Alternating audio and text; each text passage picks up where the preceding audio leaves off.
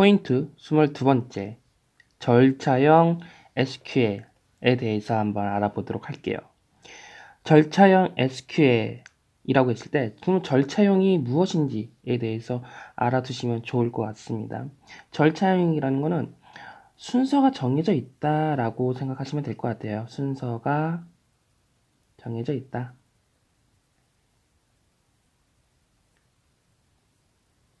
그럼 어떤 순서냐? 실행 순서겠죠.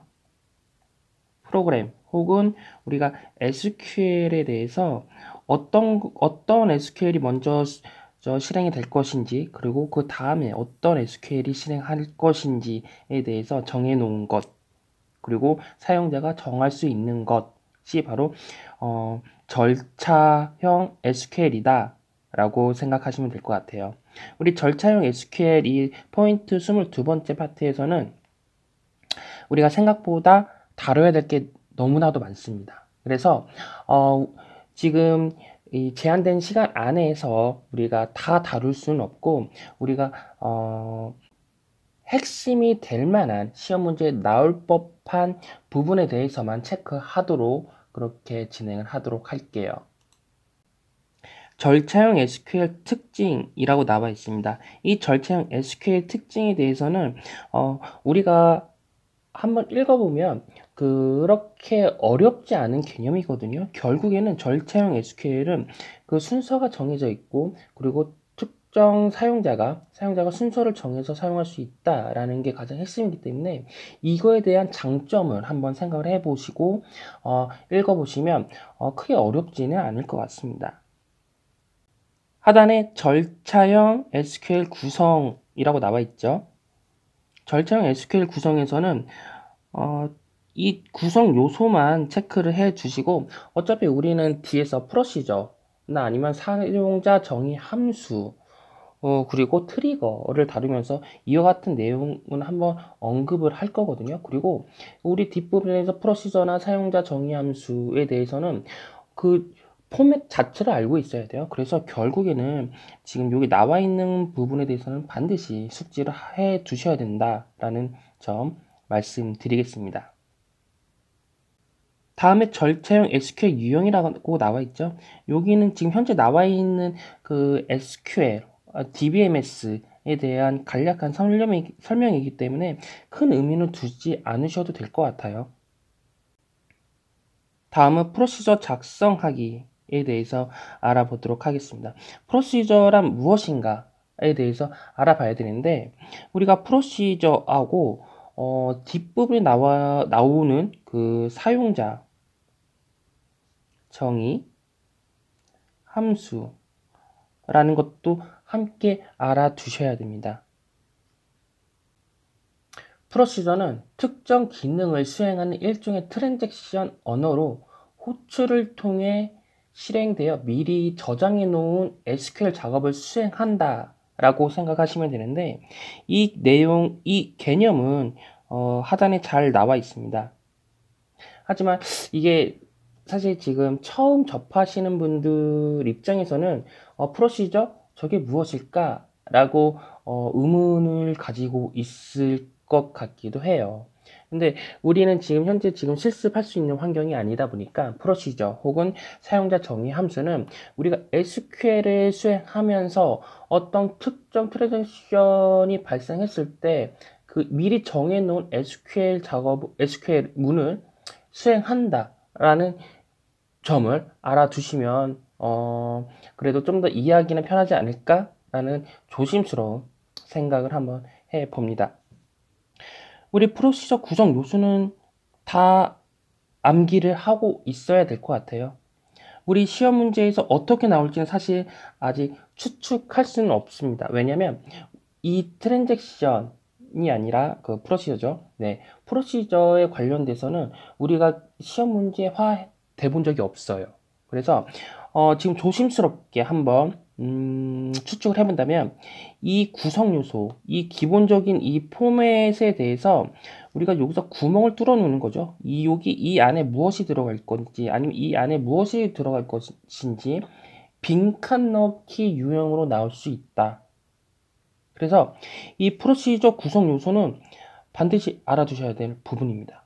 그래서 이거 하나 체크하고 넘어가도록 할게요. 이 다음 장에 나와 있는 이 부분도 마찬가지죠. 이 앞에 나와 있던 기본적인 문법을 바탕으로 해서 그 예제를 든 건데 어, 이런 식으로 나온다라고 생각을 하시면 될 것 같아요. 근데 우리가 여기서 체크를 해 두셔야 될 건 무엇이다?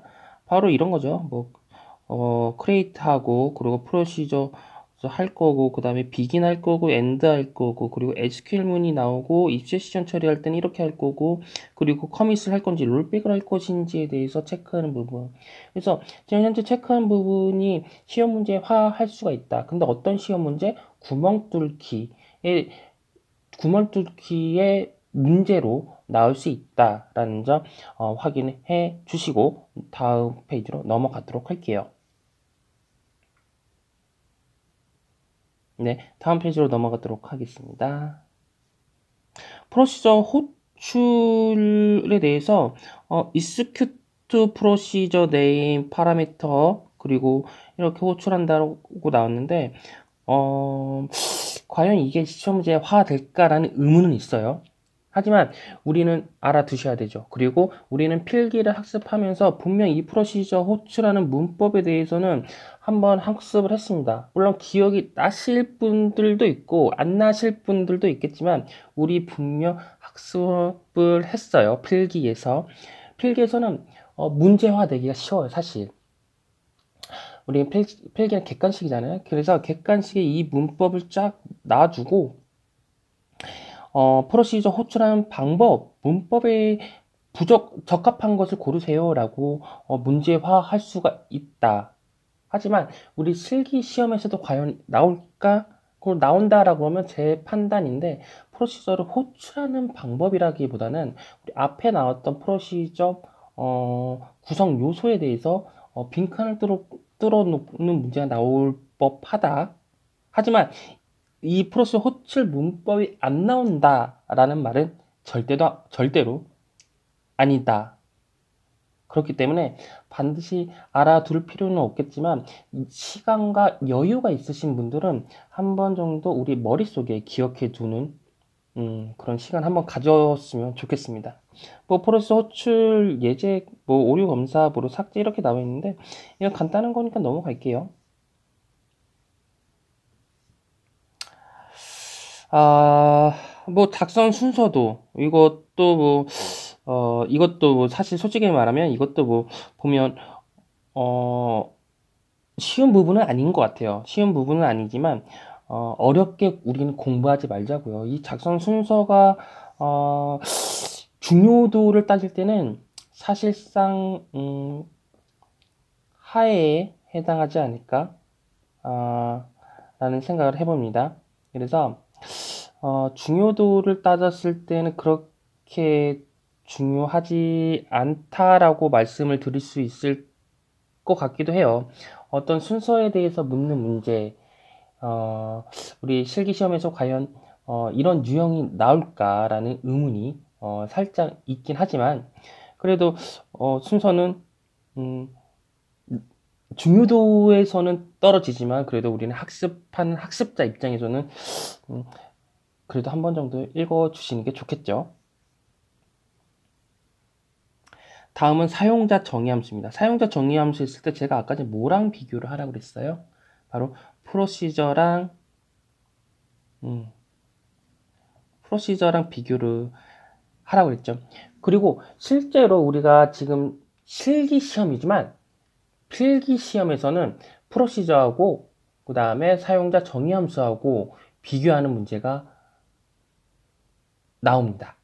그래서 우리 실기 시험도 사실 뭐 크게 다르지는 않아요. 프로시저하고 사용자 정의함수를 반드시 알아두셔야 한다라는 거예요. 그래서 그럼 사용자 정의함수하고 프로시저의 차이점이 무엇일까라고 생각을 해봤을 때 사용 사용자 잠시만요. 사용자 정의함수 그 다음에 여기서 프로시저라고 한번 해볼게요. 그러면 이 반환값이라는 게 있어요. 어, 어 잠시만요. return 값이라고 하는데 어, 사용자 정의함수는 한 개. 음, 죄송합니다. 한 개. 그리고 procedure는 없거나 아니면 한 개 이상이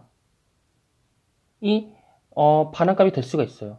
그리고 어, 여기서 파라미터 우리가 파라미터라고 하는 파라미터는 프로시저에서는 입출력이 다 가능해요. 인풋 값과 아웃풋 값에 대한 파라미터가 가능하지만 사용자 정의 함수는 인풋 이 하나만 가능하다는 것.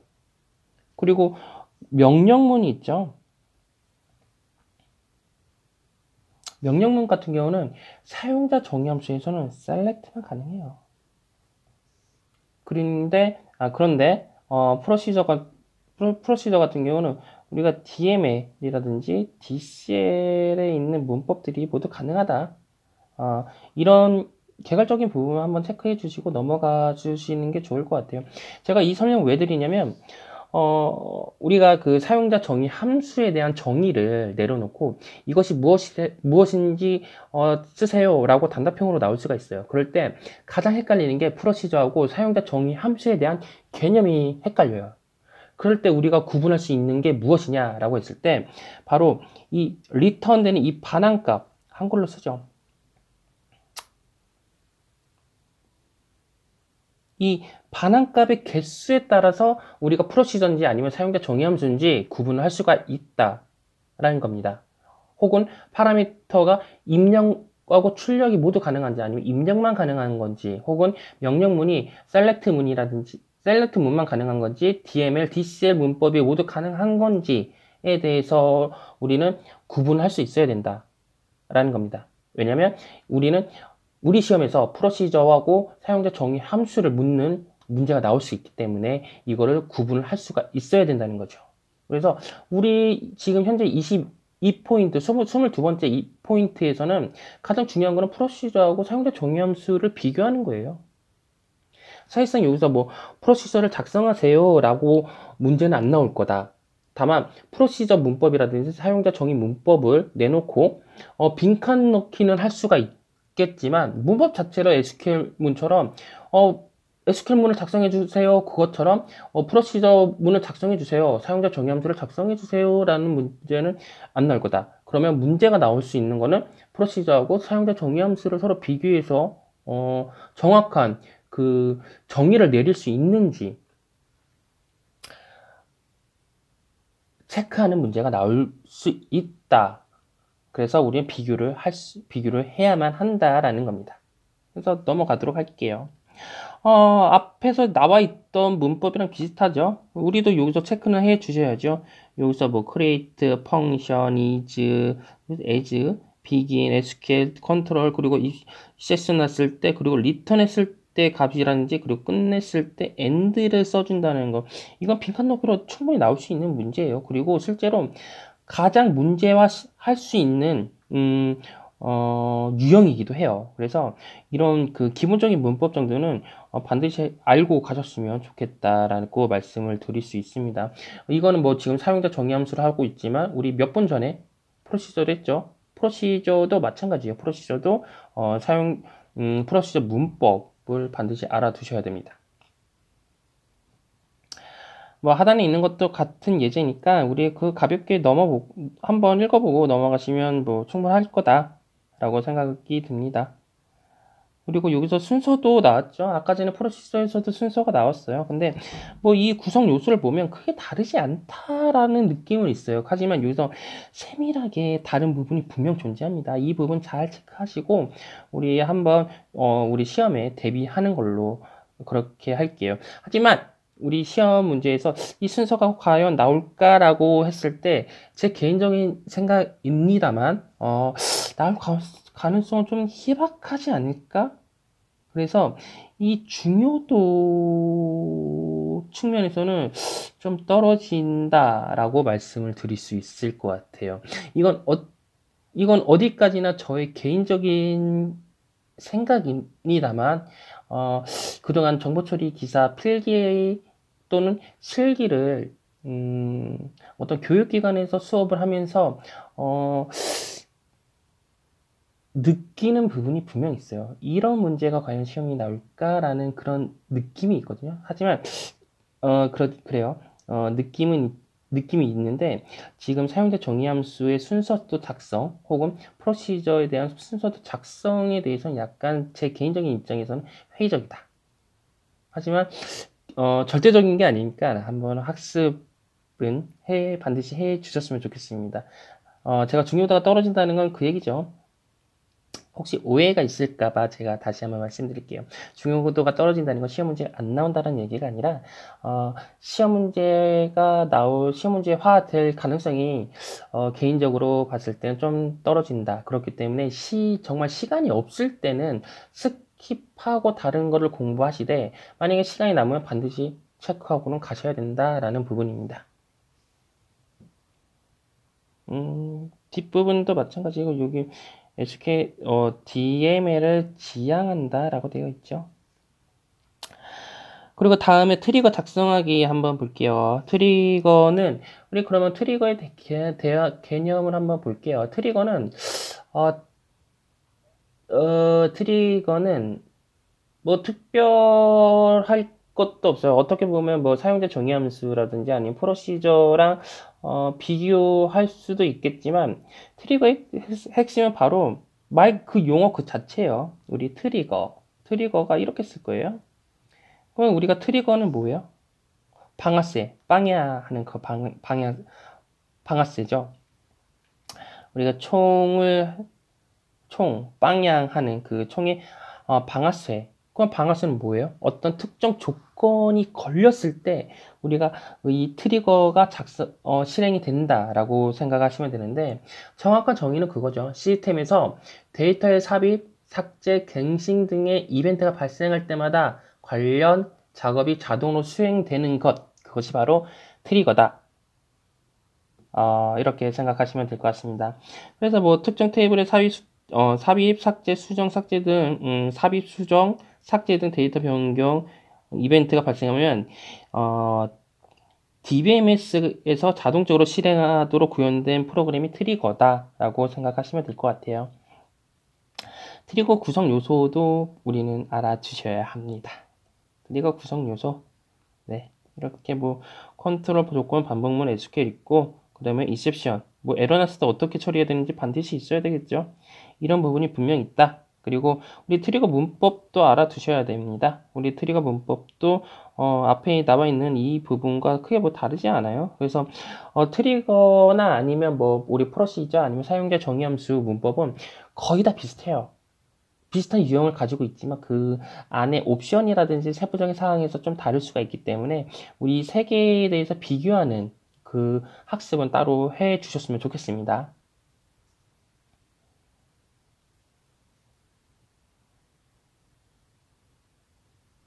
트리거 작성 시 주의사항이라고 나와 있죠. 그리고 여기서 보면 DCL을 사용할 수 없다라고 나와 있어요. 이것도 체크는 해 주셨으면 좋겠어요. 우리가 그 trigger라든지 사용자 정의 함수, procedure 같은 경우는 정말 문제화를 할 때는 객관식이 훨씬 더 유리를 해요. 유리한데 우리 우리 실기 시험에서는 trigger 하나를 묻기 위해서 이런 뭐 음, commit이라든지 rollback에 대해서 언급을 하기가 어, 상당히 어, 적합하지 않 다라는 느낌은 있어요. 그렇다고 해서 뭐 시험에 안 나온다라는 말은 분명 아닙니다. 우리는 지금 현재 그 우리 실기 시험에서는 12가지의 파트로 나눠져 있죠. 크게 보면 이 파트를 12가지를 우리가 보통 20문제 내외거든요. 우리 시험 문제가. 이 20문제 내외에서 이 12가지를 다 어, 생성을 하려다 보니까 어, 트리거가 이, 영, 이, 이 20개 안에 들어갈 수 있을까라는 생각이 들어요. 차라리 이런 문제보다는 SQL문을 하나 정도 더 낸다라고 생각하는 게 훨씬 더 좋다. 왜냐면 SQL문은 반드시 나오거든요. 그런 관점에서 보면 우리 트리거는 사실 중요도는 음, 그렇게 높지는 않다. 앞서서 말씀드렸듯이 Trigger 작성 순서입니다. 아까 전에 말씀드렸던 거랑 똑같아요. 우리 trigger 작성 순서도 한번 확인해 주시고 가시면 좋을 것 같습니다. 네, 그래서 22번째 어, 우리 에, 절차형 SQL 작성 절차형 SQL 관련해서는 어, procedure 그다음에 사용자 정의 함수 그리고 trigger 이렇게 세 개에 대해서 비교를 해 봤는데 문제화 될 수 있는 거는 각각에 대해서 구성 요소에 대해서 쫙 나열해놓고 어떤 그림을 주고 그 빈칸 넣기, 빈칸에 뭐가 들어가는 건지, create가 들어가는 건지, end가 들어가는 건지, 입세션이 들어가는 건지, 아니면 SQL문이 들어가는 건지, 이런 영역에 대한 그 빈칸 넣기가 가장 유력하고, 그리고 어, 정확하게 이 세 개를 구분할 수 있는지 없는지를 묻는 문제. 그랬기 때문에 제가 아까 어떤 걸 얘기를 했죠? Return 값이 몇 개인지, 그리고 parameter는 어떻게 수행되는 건지, 그리고 어, 수행되는 문법은 어떻게 되는 건지 이렇게 세 개 정도만 비교해 놓고 이게 정확하게 어떤 거를 묻는 문제인가라고 구분할 수 있어야 된다고 했죠. 네. 그래서 우리 지금 22번째 포인트 절차형 SQL은 여기까지 진행하는 걸로 할게요.